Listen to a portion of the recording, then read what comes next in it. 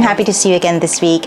In the last video, I shared some clips of my two-day stay in Hakone. Now, I managed to do a lot in two days because I had the Hakone free pass. And today I wanted to share some tips on how you can best use this discounted ticket so that you can enjoy a lovely vacation with your loved ones. Quick disclaimer, as of filming, we are in a quasi state of emergency, so I wouldn't really advise traveling at this time. But we've been here before, we know that things will eventually calm down, so this guide is for the time after, something to look forward to while we wait things out. That said, I've divided this video into three parts, what the Hakone Free Pass is, who it is for, and a sample itinerary with all the points of interest that you shouldn't miss. I have timestamps in the description box, so feel free to skip to the part that you need.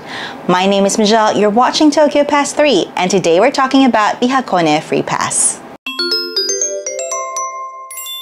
So what is the Hakone Free Pass? The Hakone Free Pass is a discount ticket offered by the private railway company Odakyu. With it, you get unlimited rides in the eight transportation networks in Hakone. This includes the Hakone Tozan train, the Tozan cable car, the Hakone ropeway, the Lake Ashi sightseeing cruise, and designated buses. It also includes round-trip tickets from Shinjuku to Hakone Moto Station via the beautifully named Odakyu Romance Car. Unless you're going to Hakone by car, this is your best option to go to Hakone because it's fast and convenient. Now you can get either the two-day or three-day Hakone free pass and the two-day pass costs 6,100 yen per adult and 1,500 per child while the three-day ticket costs 6,500 per adult and 1,107.50 yen per child. With these two options, you might be wondering how many days you need to explore Hakone.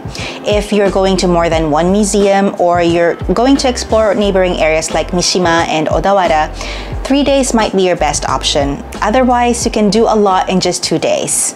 Now, who is the Hakone Free Pass for? Well, the good news is anyone can avail of the Hakone Free Pass. And by anyone, I mean tourists, foreign residents, and Japanese residents. It's one of those tickets where everyone gets to party. Yay!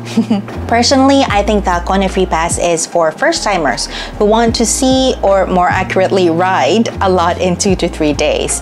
If you want a more relaxed trip where you can stay in one place for a long time, then maybe round-trip romance car tickets should be enough. Next question, where can you buy the Hakone free pass. You can buy it directly from Odakyu sightseeing centers. There's one in Shinjuku Station, so if you want to buy it on the day of your trip, you can definitely do so. I've done that before. Another way to buy it is from OTAs or online travel agencies. This saves you time because you book everything beforehand. In my case, when I booked the passes, I already picked out the departure time, so everything else was easy to schedule. One other advantage of booking from OTAs is that sometimes you get package deals that are not available in other sites nights.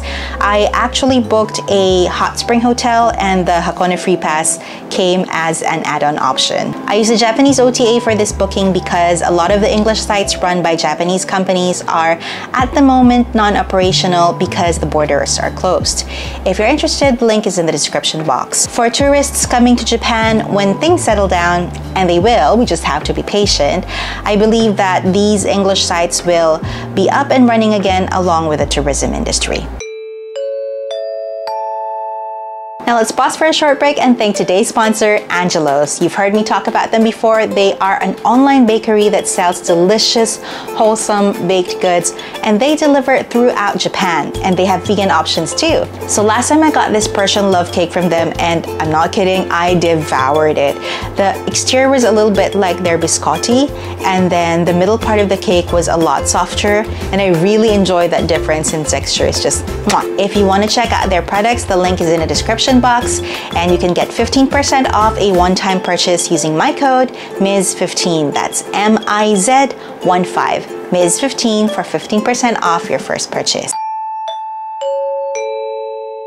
Alright, let's get to the fun part, the itinerary. On this trip, I was with my friend Yui and we're both not morning people, so we agreed to meet at 9.30 in the morning to exchange our vouchers for the actual free pass. If you're departing from Shinjuku Station, there is a romance car cafe inside the station and you can buy light snacks like bread and coffee.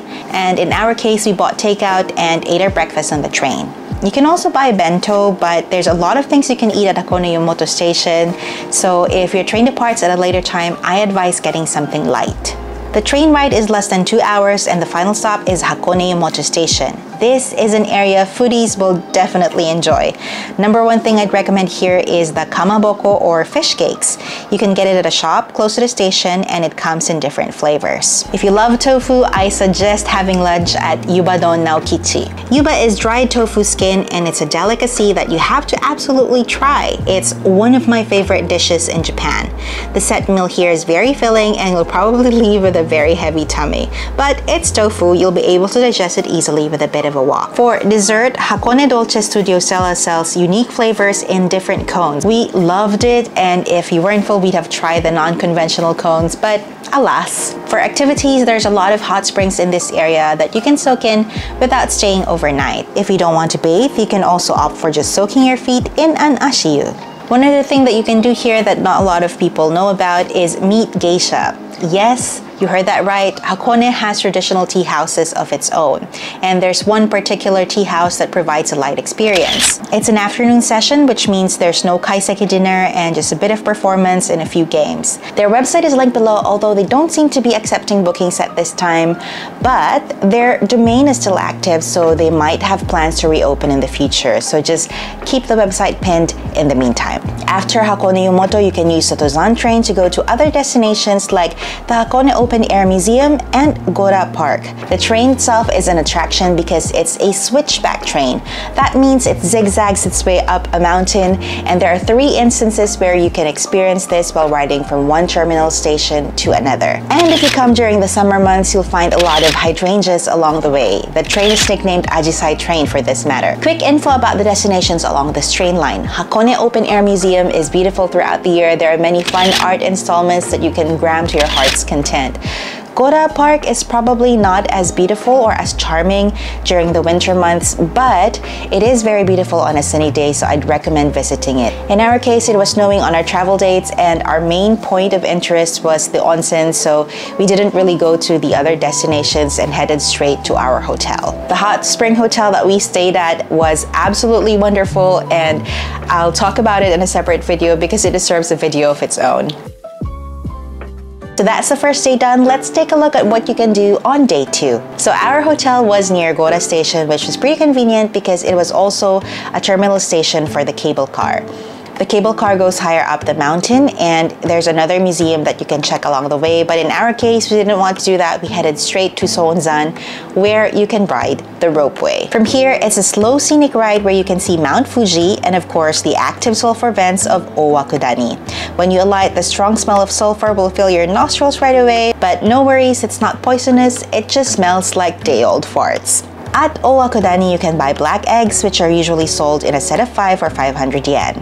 These black eggs are said to add years to your lifespan. This is mostly superstition. These are just chicken eggs, which are boiled in sulfur water, which turns the shells black. There's also a jizo here, which grants you longevity when you pour water over it. If the area is not closed off, you can also see how they make the black eggs. Unfortunately, it was closed during our visit. From here, you can go back to the ropeway for another scenic ride. You can stop at Ubako Station too, but there's not a lot here, just models of the former ropeway cars. The last stop of the ropeway is Togendai, which is also the boarding point for the Hakone sightseeing cruise. So you see, it's just really one ride after another. Here is where you'll get to ride a cruise ship designed like a pirate ship. Why? I don't really know. I guess they just thought it added more oomph to the ship. From Togendai, the ship will make two stops, Hakonemachi and Moto Hakone, which in total is around 70 minutes long. I'll be honest, pre-pandemic, I hated this cruise ship it was a tourist trap. There was just so many people. There was barely a place to stand, and it was just an uncomfortable ride. But when I went with UB last time, it was relaxing. Everybody respected their own personal space, and you actually get to enjoy the ride. I honestly don't know how things will be when the borders open, but I hope this is something that Odakyu considers. I doubt this video will reach them, but SDGs, man. If you don't have sustainability in your plan, you ain't cool. Think about it. Anyway, most of the people get off at the last stop, Moto Hakone, because it's the closest you can get to Hakone Jinja. There's a high chance you've seen Hakone Jinja on Instagram because it's all over the place. It's probably one of the most grammed spots in Hakone. And there's usually a long queue just to get a photo. That's the reality of things. On Insta, it looks like it's so remote, like no other people are there. But really, you usually have to line up just to get a photo of this place. During my trip though, the Torii Gate was actually closed because of COVID. So my tip here if you want to visit the place is to check out Google Maps for the latest reviews and maybe the official website so you can see whether it's open or not. It was already getting late after we spent some time here, so we went back to Hakone Yumoto Station by bus, which is again included in the Hakone Free Pass. And here's a tip, a lot of the restaurants at Hakone Yumoto Station close early at around 5 p.m. So make sure you get an early dinner in or you take something out and eat it on the train.